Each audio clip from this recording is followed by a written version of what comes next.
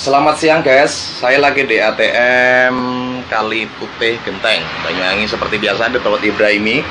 Begitu saya masuk, di dalam ATM ada tulisan ini. Ya, jika kartu Anda tertelan, rusak dan sebagainya. Tapi saya tetap masukkan kartu. Di saat masukkan kartu, di situ kartu saya tertelan. Terus saya hubungi nomor ini. Di situ langsung nomor itu mengatakan meminta nomor rekening dan juga nominal saldo. Ujung-ujungnya kok minta nomor pin saya. Akhirnya tak matikan. Terus tak teleponkah ke nomor ini?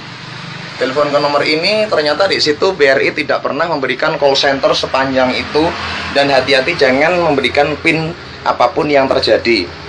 Dan ternyata benar alhamdulillah saya kecelakaan yang tidak terjadi ter, tidak terjadi celaka. Jadi menghimbau teman-teman hati-hati kalau ada ATM yang kayak gini tulisannya dan kartu-kartu Anda tertelan, jangan pernah menghubungi nomor ini. Ini nomor penipuan. Untuk itu, mengimbau sekali lagi, hati-hati jangan pernah menghubungi nomor sebanyak ini. Nomor berapapun, yang penting selain nomor ini.